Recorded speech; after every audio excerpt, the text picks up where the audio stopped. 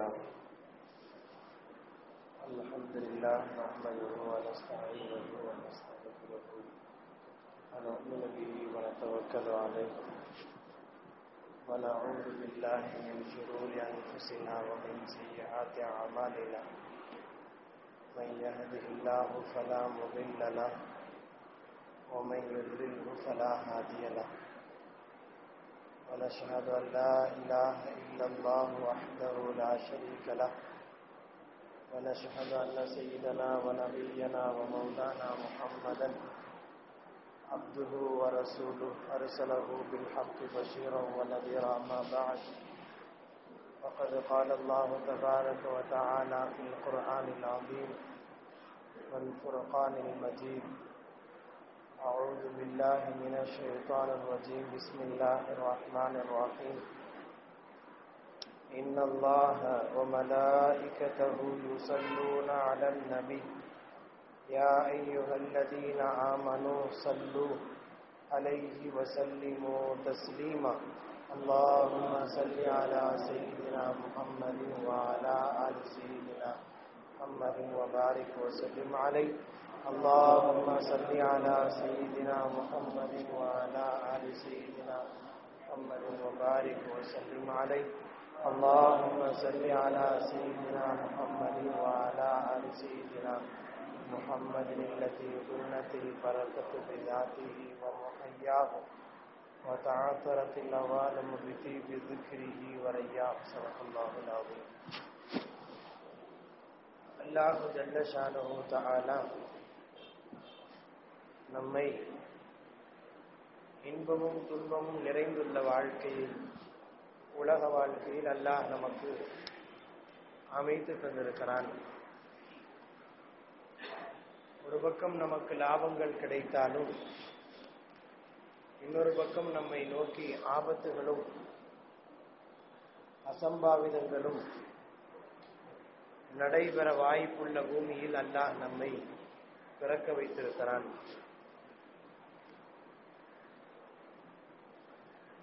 நமக்கு லாபங்கள் மட்டுமே நமக்கு கிடைக்கும் என்று நாம் உறுதிபட சொல்ல முடியாது. அதே சமயம் நம் வாழ்க்கையில் ஆபத்துகள் மட்டுமே தொடர்ந்து கிடைத்து கொண்டே இருக்கும் என்றும் சொல்ல முடியாது. நன்றாக போய்கொண்டிருக்கிற வாழ்க்கை பயணத்தில் திடீரென்று ஒரு சரிவு அவ்வப்போது நடப்பதுண்டு. நன்றாக நடந்து கொண்டிருக்கிற வியாபாரத்தில் திடீரென்று ஒரு சரிவு நடப்பதுண்டு. அதுவெல்லாம் ஒரு சந்தர்ப்பங்களில் அல்லாஹு ஜல்லஷானு தாலாவின் உதவியாகவும் ஏற்படலாம். அல்லது அல்லாஹ் அதிலே வேறு சில நுட்பங்களையும் மறைத்து வைத்திருக்கலாம். அல்லாஹு மட்டுமே நன்கறிந்தவன். ஆபத்துகள் ஏற்படும் போதெல்லாம் அவன் தரப்பிலே இருந்து உதவிகளை வழங்குவது தன்னுடைய பொறுப்பு என்று அல்லாஹு சொல்கிறான். அந்த உதவியை நேரடியாக அல்லாஹுவான் வழங்க முடியும். என்றாலும் கூட எல்லா சந்தர்ப்பத்திலேயும் நேரடியாக வழங்குவதில்லை. ஹதரத் ஆதம் அலி இஸ்லாம் உட்பட அருமிநாயகம் சல்லல்லாஹு அலிஹு செல்லம் வரை அதற்கு பின்னால் வாழ்ந்த சஹாபா பெருமக்கள் கியாமத்து வரை வரப்போகிற அத்தனை மீன்களுக்கும் நேரடியாக உதவி செய்வதற்கு அல்லாஹ் ஆற்றல் பெற்றவன் தான். ஏன் மூசா அலி இஸ்லாத்திற்கு வானத்தில் உணவு இறக்கி வைத்ததை போல் அல்லாஹ் நினைத்தால் இறக்கி வைக்க முடியும்.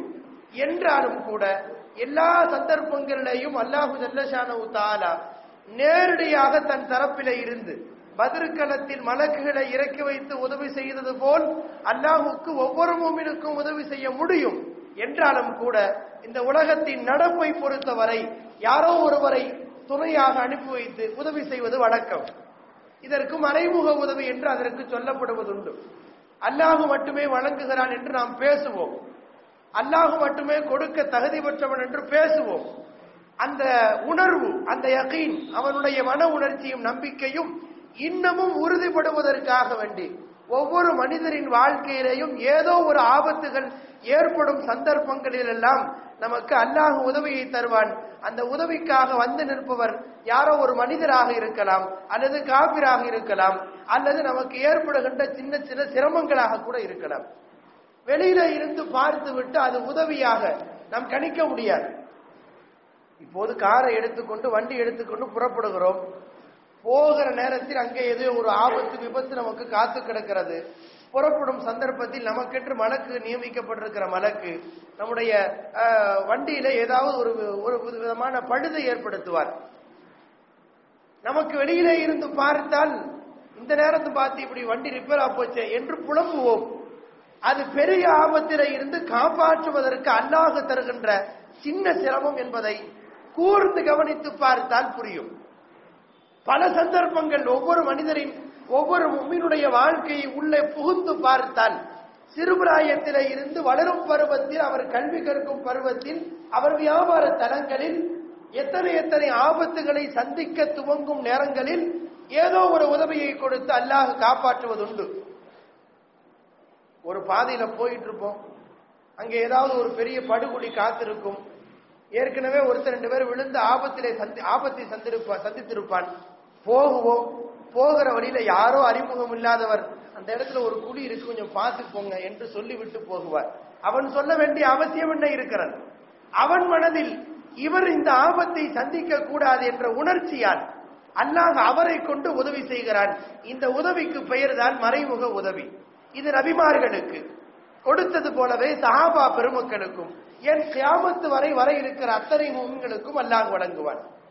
வெளியில இருந்து பார்த்தால் அல்லாஹுதான் அந்த உதவியை செய்தான் என்று வெளிப்படையாக தெரியாது. கூர்ந்து கவனித்து பார்த்தால் சற்று சிந்தித்து பார்த்தால் இப்படியும் கூட உதவி செய்வான் என்பதை நாம் புரிந்து கொள்ள முடியும். அதற்கு மூசா அலைஹிஸ்ஸலாம் அவர்கள் வாழ்ந்த அவர்கள் பிறந்த நேரத்தை யோசித்து பாருங்கள்.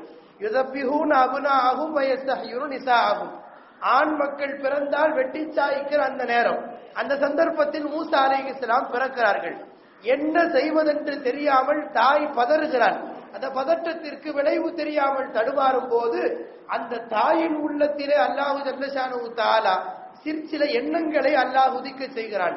ஒரு பெட்டியை செஞ்சு அந்த ஆத்துல விட்டுறலாம் அப்படின்னு ஒரு முடிவுக்கு வருகிறார். தாய் பெட்டி செய்கிறார். குழந்தையை கொண்டு வந்து பெட்டியில வைக்கிறார்.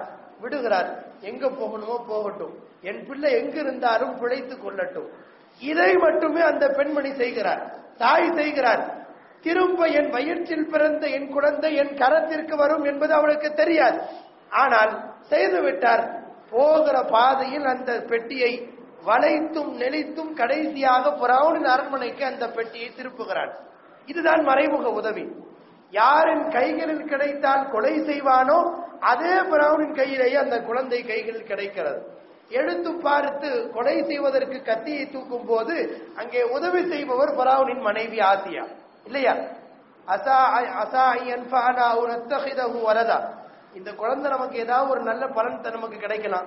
இல்லாட்டி நமக்கு தானே ஆம்பளை பிள்ளை இல்ல. அந்த பிள்ளைய ஆம்பளை பிள்ளையா வச்சுக்கலாமே என்று அந்த சொன்ன மனைவியின் வார்த்தைக்கு கீழே அவன் அடிமைப்பட்டு போனவனாய்.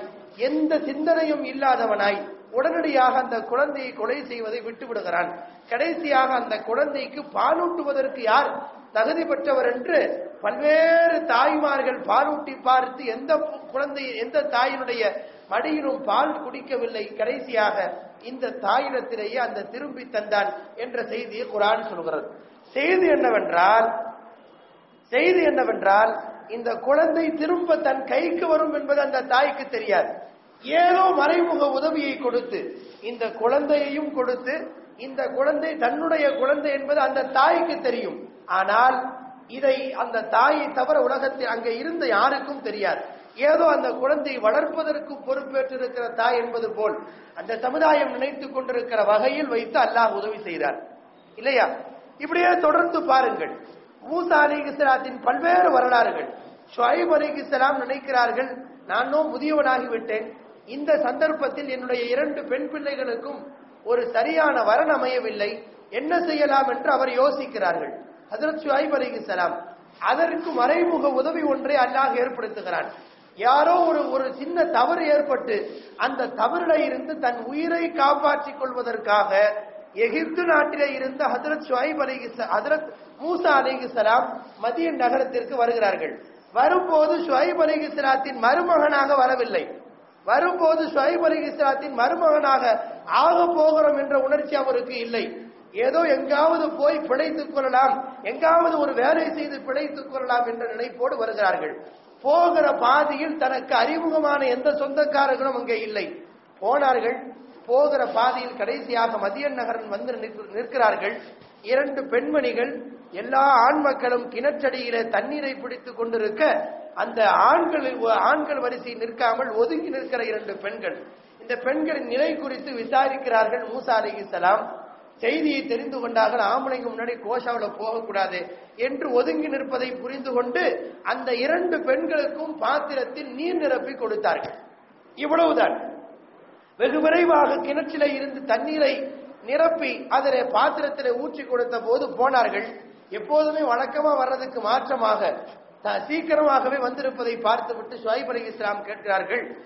என்ன இவ்வளவு விரைவாக வந்ததற்கு காரணம் என்ன என்று கேட்டபோது யாரோ ஒரு இளைஞர் வெளியூர்காரர் மாதிரி தெரிஞ்சு நம்ம ஊர்க்காரர் அல்ல. வந்தவர் திடீரென்று நமக்கு உதவி செய்யணும்னு அவர் மனசுல தோணுச்சு அவர் உதவி செஞ்சார். அவரை பார்த்தா நல்ல மனுஷர் மாதிரி தெரியுது என்று ஒரு பெண்மணி பேச்சை துவங்குகிறார். அப்படியானால் அவரை வேண்டாம் நம்ம வீட்டுக்கு வேலைக்காரராக வைத்துக் கொள்ளலாமா? வேண்டுமானால் பேசிப்பார். என்று ஒரு ஒரு பெண்ணை அனுப்பி வைக்கிறார். அந்த பெண்மணி வந்தார். இன்ன அபி எது ஊக்கலி எதிர்த்தியக்க அஜரமா சகைத்தலனா நீங்க தண்ணீர் கொடுத்தீங்களா? அதுக்கு கூலி கொடுக்கணும்னு நீங்க தகப்பனார் விரும்புறார். எங்க வீட்டுக்கு வர்றீங்களா? என்று சொல்லிவிட்டு மூசா அலை இஸ்லாம் அழைத்து செல்லப்படுகிறார். அந்த ஊர் தெரியாது நாடு தெரியாது. அந்த ஊர் மக்கள் யாரும் தனக்கு பழக்கம் இல்லை ஏதோ வந்தவர் மூசா அலை இஸ்லாம் அந்த வீட்டிற்கு போகிறார்கள். பத்து வருடம் தோட்டத்திற்கு பணியாளராய் வேலை செய்ய வேண்டும் என்று வேலை செய்கிறார்கள். கடைசியாக தோட்டத்திற்கு வேலை செய்ததற்கு பணியாக கூலியாக ஒரு பெண்ணையே ஷுவைப் அலி இஸ்லாம் தன் மகளையே கொடுத்து அனுப்புகிறார்கள். மனைவியாக ஆக்கி கொண்டு ஊர் திரும்புகிறார்கள் அதற்கு மூசா அலி இஸ்லாம் செய்தி என்னவென்றால் ஒரு பக்கம் ஷுவைப் அலி இஸ்லாத்திற்கு என் ம- என்னுடைய மகளுக்கு ஒரு நல்ல மருமகன் கிடைக்க வேண்டுமே என்று யோசிக்கிறார்கள். மூசா அலேகிஸ்லாத்திற்கு எனக்கு ஒரு சரியான ஒரு புகலிடம் ஒரு ஆதரவு கிடைக்க வேண்டும் என்று யோசிக்கிறார்கள். இரண்டு பேரையும் சந்திக்க வைப்பதற்கு ஒரு மறைமுக உதவியையும் கொடுத்து இவர்களை அறிமுகப்படுத்தி அல்லாஹு ஜல்லஷானு தஆலா இப்படி உதவி செய்கிறான் அல்லவா? இதுதான் மறைமுக உதவி. ஒவ்வொரு நபிமார்கள் காலத்திலேயும் தவிர்க்க முடியாத பல்வேறு ஆபத்துகள் போது உதவிகளை கொடுத்து காப்பாற்றியதுண்டு. அருமிநாயகம் ஸல்லல்லாஹு அலைஹி செல்லம் அவர்களின் வீட்டை சுற்றிலேயும் மக்கமா நகரத்தில் இரவில இருந்து பஜ்- அதிகாலை வெளியே வரும்போது சல்லல்லாஹு அலைஹி வஸல்லமுடைய தலையை நான் வெட்டுவேன் நான் வெட்டுவேன் என்று நூற்றுக்கணக்கான இளைஞர்கள் பேசிக் கொள்கிறார்கள். பேசுகிற வார்த்தையெல்லாம் சல்லல்லாஹு அலைஹி வஸல்லமுடைய காதுகளில் ஒலிக்கிறது காதுகளில் விழுகிறது. சல்லல்லாஹு அலைஹி வஸல்லம் அல்லாஹ்வின் உத்தரவோடு அல்லாஹ்வினுடைய உதவியோடு நம்பிக்கையோடு வெளியே வந்தார்கள். மண்ணை தூவினார்கள் என்ற செய்தியெல்லாம் நமக்கு தெரியும்.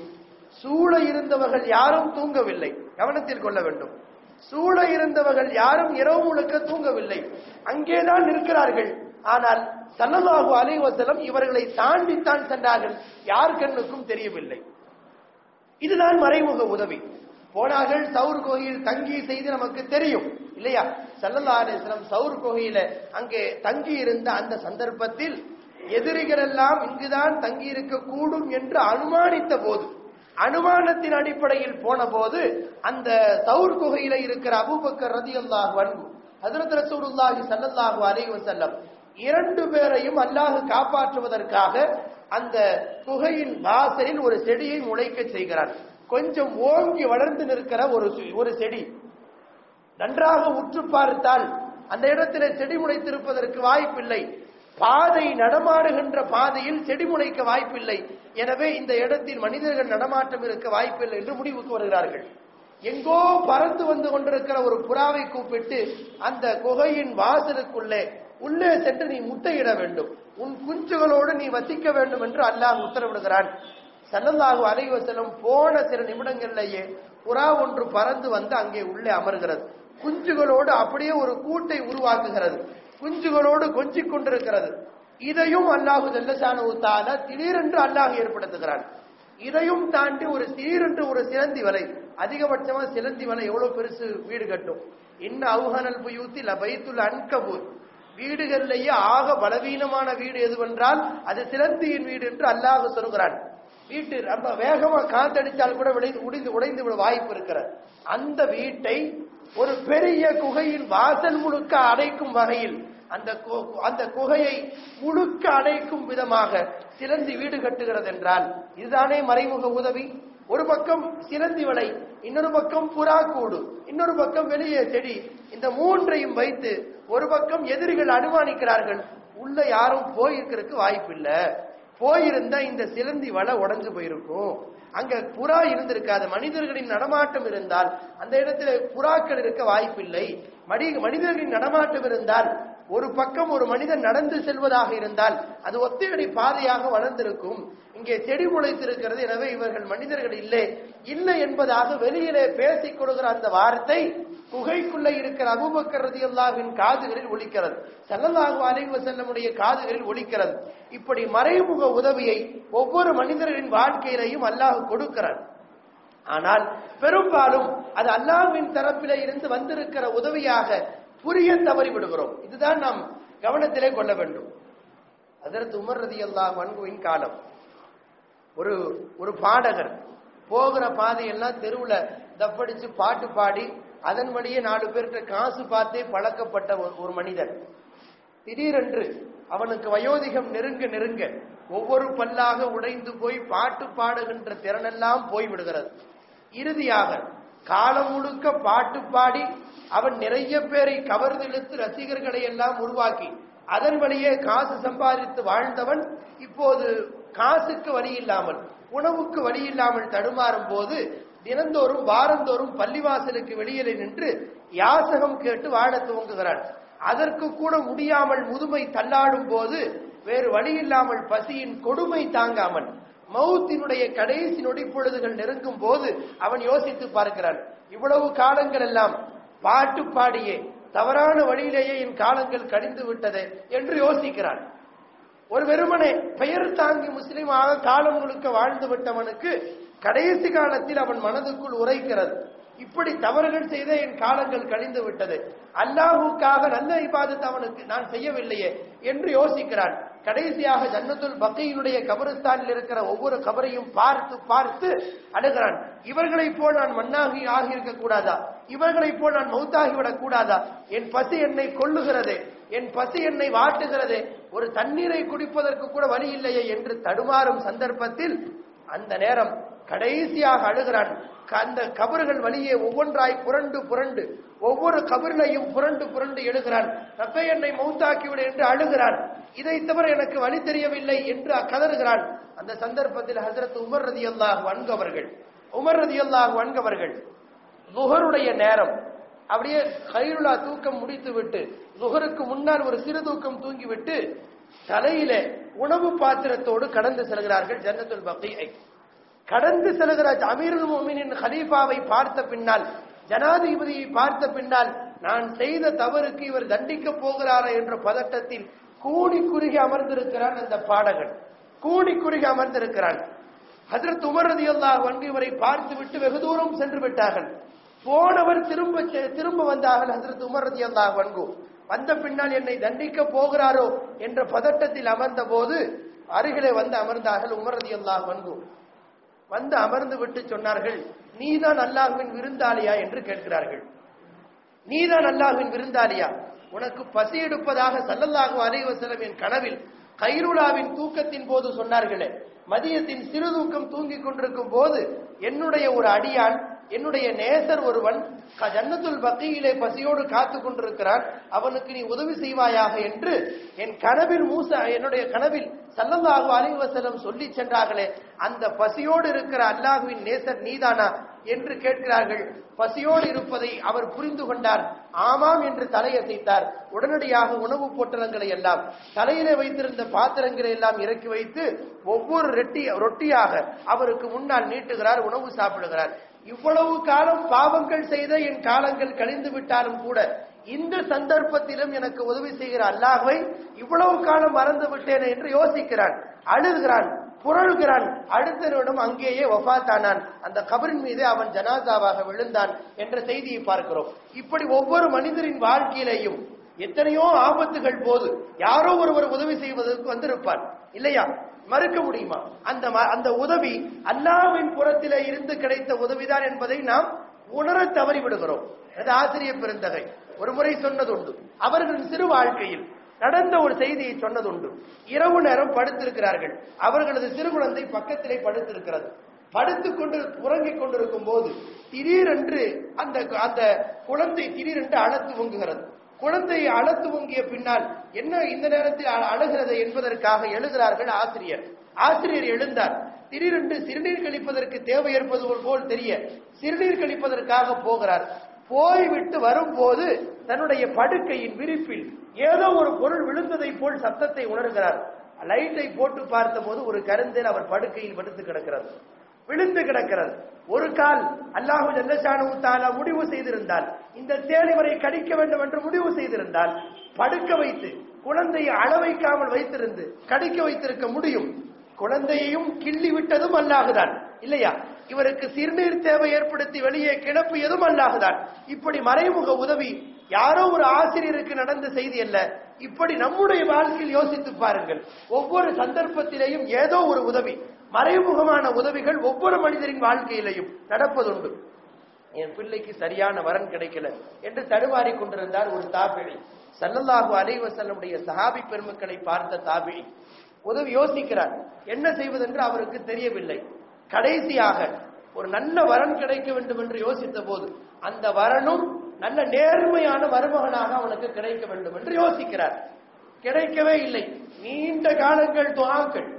ஒரு நாள் இரண்டு நாள் அல்ல. உஸ்துல் காபா போன்ற தாபியின்களின் வரலாற்றை குறிப்பிடுகின்ற அந்த செய்தியில் அழகான அழகான செய்தியை குறிப்பிடுகிறார்கள். பல நாட்கள் நீதி நேர்மையோடு மிகுந்த அமானிதத்தை பேணுது பேணுகின்ற ஒரு நல்ல மருமகனிடத்தில் என் மகளை ஒப்படைக்க வேண்டும் என்று யோசிக்கிறார். கடைசியாக நிலத்தை விற்க வேண்டும் என்ற முடிவுக்கு வருகிறார். தனக்கென்று ஒதுக்கப்பட்டிருக்கிற நிலத்தை விற்கிறார். விற்ற பின்னால் விற்றதை வாங்கியவன் விற்றதை வாங்கிய நபர் அவரும் ஒரு தாபிகை அவர் அந்த நிலத்தை தோண்டுகிறார். வீடு கட்டுமானத்திற்காக அஸ்திவாரத்திற்காக தோண்டும் போது ஒரு புதையல் கிடைக்கிறது. ஒரு புதையல். நிறைய செல்வங்கள் கனிம வளங்கள் எல்லாம் மறைந்து கிடக்கிறது. உடனே அதை எடுத்து கொண்டு வந்து நான் நிலத்து தான் வாங்கினேன். நிலத்துக்குள்ளார் இருந்த புதையல் எனக்கு சொந்தம் இல்லை உங்களோட தான் நீங்க எடுத்துக்கங்க என்று விற்றவரிடத்திலே கொடுக்கிறார். இல்ல எப்போ நிலத்தை கொடுத்துட்டனோ நிலத்துக்குள்ளார இருந்ததெல்லாம் உனக்குத்தான் சொந்தம் என்று விற்றவன் சொல்ல இல்லை இல்லை நான் நிலத்தை மட்டுமே வாங்கினேன். நிலம் மட்டுமே எனக்கு சொந்தம். நிலத்தில் இருக்கிற புதையெல்லாம் உங்களுக்கு சொந்தம் என்று வாங்கவன் வாங்கியவன் சொல்ல இரண்டு பேரும் முட்டிக் கொள்கிறார்கள்.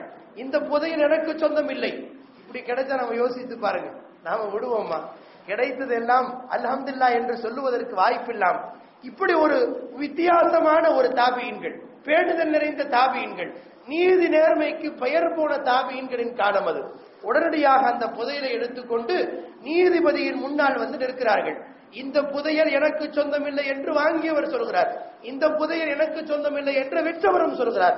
இரண்டு பேரையும் யோசித்து பார்த்து ஒரு முடிவுக்கு வந்தார் நீதிபதி. உன் வீட்டுல யார் யார் இருக்கிறா? உன்னுடைய ஃபேமிலி மெம்பர்ஸ் யார் யார்? என்று ஒவ்வொருவராய் நீதிபதி விசாரிக்கிறார். என் வீட்டில் ஒரே ஒரு மகள் இருக்கிறார் என்று விற்றவர் சொல்கிறார். சரி உன் வீட்டிலே ஃபேமிலி மெம்பர்ஸ் யார் யார்? குடும்பத்தின் மொத்த நபர்கள் யார்? எனக்கு ஒரே ஒரு ஆம்பளை பையன் தான் இரண்டு பேரையும் திருமணம் முடித்து இதை சீதனமாக கொடுத்து விடுங்கள். இதை மகராக கொடுத்து விடுங்கள் என்று தீர்ப்பு செய்தார் என்ற செய்தியை தாபீன்களின் வரலாற்று குறிப்பில இருந்து பார்க்கும் போது இதுதான் மறைமுக உதவி. நீண்ட காலங்களாக நாம் ஏதோ ஒரு துவாவை செய்திருப்போம். அந்த துவாவிற்கு சிறுபிராயத்தில இருந்து நமக்கு உதவிகள் கிடைக்காமல் இருந்திருக்கலாம். என்றோ ஒரு பெரும் பேராபத்து காத்து கிடக்கும் போது அதற்குரிய உதவியை அல்லாஹ் தன் தரப்பில இருந்து கொடுத்திருப்பான். ஏதோ நம்முடைய முன்னோர்கள் என்றைக்கோ செய்திருப்பார்கள் ஒரு துஆ. அந்த துஆவின் பிரதிபலனை பல தலைமுறைகளை தாண்டி கூட அந்த துஆவை பெற முடியும். குரானில் ஒரு அழகான செய்தியை குரானிலே அல்லாஹு ஜல்லஷானு தாலா பேசுகிறான்.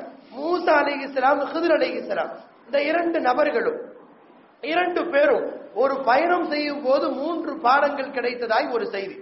அதில் ஒரு செய்தி என்னவென்றால் ஒரு ஊருக்கு அமாலிகா அண்டா அமாலிகா என்ற ஒரு ஊர் அண்டார்டியா என்று அந்த ஊருக்கு பெயர்.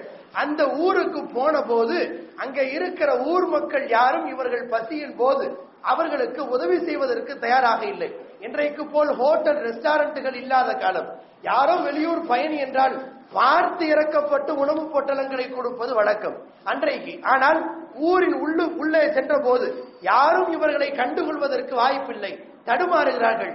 பசியை போக்குவதற்கு யாரும் உதவி செய்வார்களா என்று கேட்டு பார்த்த போது கூட உதவி செய்வதற்கு யாரும் தயாராக இல்லை. அந்த நன்னடியாக நல்ல இந்த இரண்டு பேரையும் பார்த்து இரண்டு பேருக்கும் உதவி செய்வதற்கு யாரும் தயாராக இல்லாமல் மறுத்து விட்டார்கள் என்று குரானில் அல்லாஹ் சொல்கிறார்கள் ஊரை விட்டு வெளியில வர்றாங்க. வெளியில வரும்போது ஒரு வீடு. கிட்டத்தட்ட அந்த சுவர் இடிந்து விழுகுவதற்கு தயாராக இருக்கிறது. பார்த்தவுடன் ஹிதர் அலைஹிஸ்ஸலாம் அந்த வீட்டில் விழுந்து விழுவதற்கு தயாராக இருக்கிற அந்த சுவற்றை சரி செய்கிறார்கள். சில சில பூச்சி வேலைகளை செய்து சுவர் இடிந்து விழாமல் காப்பாற்றுகிறார்கள். காப்பாற்றுகிறார்கள். மூசா அலைஹிஸ்ஸலாம் கேள்வி கேட்கிறாங்க. குரான்ல அல்லாஹ் பேசுகிறான் நமக்கு சாப்பாடு கூட கொடுக்கறதுக்கு தயாரா இல்லாத அந்த ஊர் மக்களுக்கு ஏன் இப்படி ஒரு உபகாரம் செய்யணும்? கேள்வி சரிதானே? சாப்பாடு ஒரு வயிறு சோறு தரதுக்கு தயாரா இல்லாத இந்த மக்களுக்கு ஏன் உதவி செய்யணும்? இந்த ஊர் மக்களுக்கு போய் ஒரு செவரை ஏன் சரி பண்ணி தர்றீங்க? உடனடியாக ஹிதர் இஸ்லாம் பதில் சொல்லவில்லை. கடைசியாக மூன்று கேள்விக்கும் சேர்த்து பதில் சொல்லும் போது பதில் அதற்கு ஹிதர் இஸ்லாம் சொன்னார்கள் இந்த சுவரும் இந்த சுவற்றிற்கு கீழே இருக்கிற புதையல் ஒன்று இருக்கிறது. அந்த புதையல் இரண்டு அனாதைகளுக்கு சொந்தமானது. இரண்டு அனாதைகளுக்கு சொந்தமானது. வக்கான அபூஹுமா சாலிஹா. வக்கான அபூஹுமா சாலிஹா. இந்த அனாதையினுடைய ஏழாவது தலைமுறையை சார்ந்த பெற்றோர்கள் நல்லடியார்கள். நல்ல துவா செய்கிற பெருமக்கள். யாரெல்லாம் என்னுடைய தலைமுறையை சார்ந்த அத்தனை பேரின் உடைமைகளையும் அவர்களது உயிரையும் அவரது கண்ணியத்தையும் காப்பாற்றுவாயாக என்று ஏழு தலைமுறைக்கு அப்பால் இருக்கிற ஒரு தகப்பனும் தாயும் துவா செய்திருக்கிற அந்த துவாவின் பிரதிபலனாக இந்த அனாதைகளின் சிறுவர்கள் இவர்கள் பக்குவம் இல்லாத சிறுவர்கள்.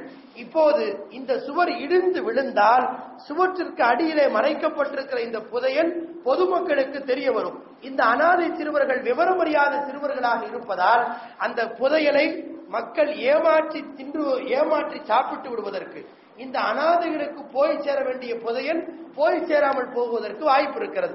எனவே அந்த அனாதைகளின் பொருள் பாதுகாக்கப்பட வேண்டும் என்பதற்காக வேண்டி இந்த சுவரை நான் எழுப்பினேன். ஒரு பூச்சு பூசினேன் என்று சொன்னார்கள். இங்கே செய்தி என்னவென்றால் இந்த அனாதைகளின் பெற்றோர் குறித்தல்ல. குரானின் விரிவுரையாளர்கள் சொல்கிற செய்தி என்னவென்றால் இந்த அனாதையினுடைய அத்தாவோட அத்தாவோட அத்தாவோட அத்தாவுடைய ஏழாவது தலைமுறை ஏழாவது தாத்தா ஒருவர் பாட்டனார் ஒருவர் என்னுடைய குழந்தைகளை எந்த சந்தர்ப்பத்திலேயும் அவர்களது பொருள்கள் அந்நியரின் கைகளில் மாட்டிவிடாமல் காப்பாற்றுவாயாக என்று செய்த அந்த ஏழாவது தலைமுறை பாட்டனார் செய்த துவா ஏழு தலைமுறையை தாண்டி துவா கபூலாகிறது. ஏழு தலைமுறையை தாண்டி அனாதைகளாக இருக்கிற அந்த அனாதைகள் அந்த சிறுவர்களுக்கு உதவி கிடைக்கிறது அவர்கள் பொருள் பாதுகாக்கப்படுகிறது என்றால் இப்படித்தான். இப்படி மறைமுக உதவி. யாரோ ஒருவர் வெளியூர்காரராய் வந்தவர் கதிரலை இஸ்லாமும் மூசாரை இஸ்லாமும் சேர்ந்து அந்த அனாதையின் பொருளுக்கு பாதுகாப்பு தருகிறார்கள். இப்படி நாம் எத்தனையோ யோசித்து பார்த்தால் நம்முடைய வாழ்க்கையில் நிறைய மறைமுக உதவிகள் கிடைத்துக் கொண்டே இருக்கிறது. தஈது கைப் என்று சொல்வார்கள் மறைமுக உதவி. ஒன்று அந்த உதவி நம்ம வாகனத்துல புறப்படுவோம். போகிற நேரத்துல சின்ன காயம் ஏற்படும். கீழே விழுந்து விட்டு நம் வீட்டிற்கு வந்து விடுவோம். வெளியிலே பார்த்தால் வண்டியிலிருந்து கீழே விழுந்தேன். இது பெரிய ஆபத்தில இருந்து காப்பாற்றுவதற்கு அல்லாஹ் செய்த சின்ன ஆபத்தல். இல்லையா? நாம் ஒரு ஊருக்கு புறப்படலாம் என்று நினைத்துக் கொண்டிருப்போம். திடீர்னு அன்னைக்கு பார்த்து ட்ரெயின் டிக்கெட் கிடைக்காது. அன்றைக்கு பார்த்து ஸ்ட்ரைக்காக இருக்கும். போக வேண்டிய இடத்திற்கு போக முடியாமல் தடுமாறுவோம். இது கூட ஒரு பெரிய பேராபத்தில இருந்து இந்த மனிதனை இந்த உமினை காப்பாற்றுவதற்கு அல்லாஹ் செய்கிற மறைமுக உதவியாக இருக்கும். கடுமையான பசியோடு இருப்போம். எந்த இடத்திலையும் கடை திறந்திருக்காது உணவகங்கள் இருக்காது. யாரோ ஒருவர் போகிற பாதையில் நம்மை பார்த்து இறக்கப்பட்டு உணவு பொட்டலத்தை கொடுத்து விட்டு போகுவார். அவர் மனதில் எண்ணத்தை போட்டதும் அல்ல அவர் வழியே நம் பசியை போக்கியதும் அல்லாததால் இப்படி மறைமுக உதவி யோசித்து பாருங்கள். எத்தனை சந்தர்ப்பங்களில் எங்கோ ஒரு பொருளை நாம் தொலைத்திருப்போம்.